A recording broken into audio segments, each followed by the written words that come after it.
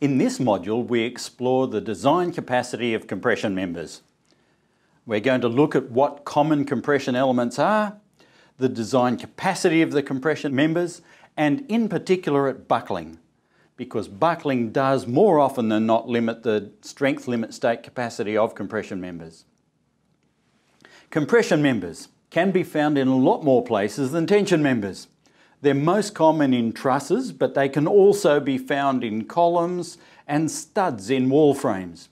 So in a wall frame, a stud transmits wind loads through bending actions, but they also transmit the weight force of all of the elements that sit on top of the actual wall, and they do that in compression. The design equation. The design capacity has to exceed the strength limit state compression loads. The strength limit state compression loads are found by using loads that are factored by the strength limit state factors.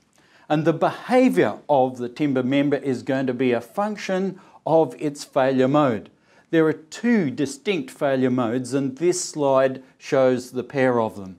The first one is failure of stocky members, where the material actually crushes as the load is applied.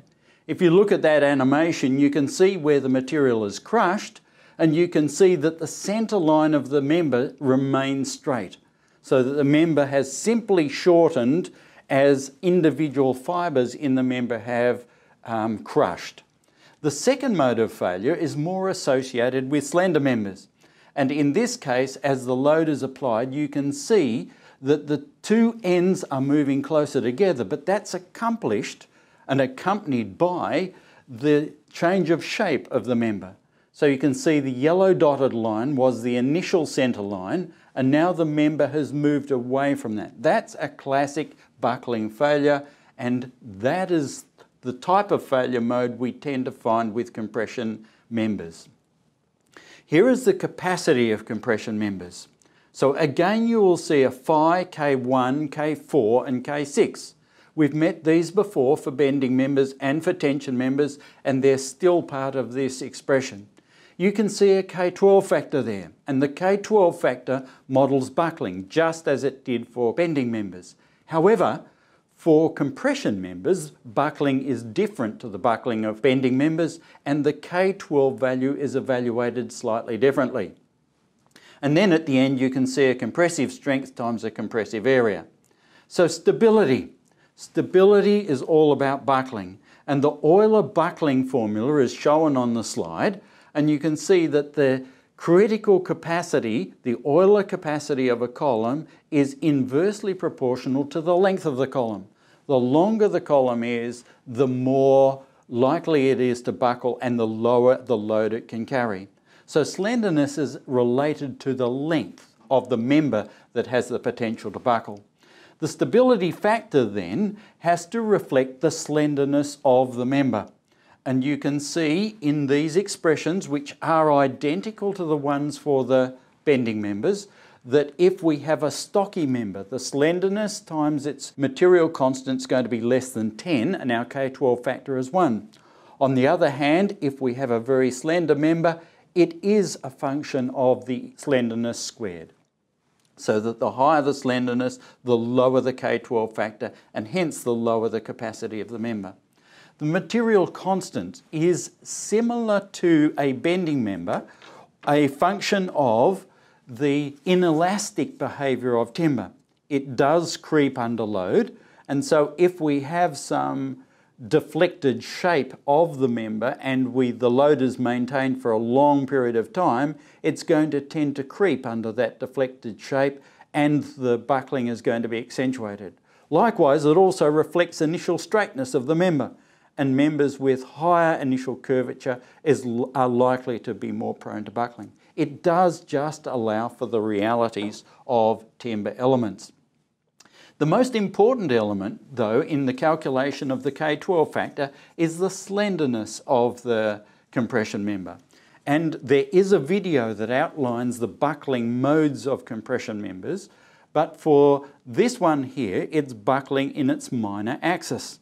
And the minor axis slenderness you can see on this slide is shown on the right hand side as the length of the member divided by the breadth of the member, the thinner dimension, cross-sectional dimension of the member. Now, there's a slight modification. If the member has a lateral restraint, it's the distance between the loading point and the lateral restraint that is going to be the buckling length of the member. On the other hand, if there are no lateral restraints, a lot depends on how rigid the connections at the end are. If the connections are pinned, that is the buckled shape of the member. If the member is rigidly clamped at each end, we can actually induce some reverse curvature near the top of the member like that because of that rigid clamping. The G13 factor recognises that the, the rigidity of the connection at the end may affect its buckling strength. So where there's no internal support or intermediate support, there's a G13 factor that is incorporated into the evaluation of the slenderness. We evaluate the slenderness for the minor axis buckling. We evaluate the slenderness for major axis buckling separately. They use very similar formulae, as you can see on this slide. However, for major axis, the slenderness relates to the larger cross-sectional dimension, and for minor axis, the slenderness relates to the smaller cross-sectional dimension. We evaluate them both separately, and whichever slenderness is the larger one is the one that we use in evaluating the K12 factor. The last things to evaluate are the compressive strength of the material. And the compressive strength of the material can be found in the places that we are used to finding strengths now of the timber elements. So for sawn timber, we're going to look in Appendix H, for glulam in chapter 7, for LVL in manufacturer's data. And that will give us the compression capacity.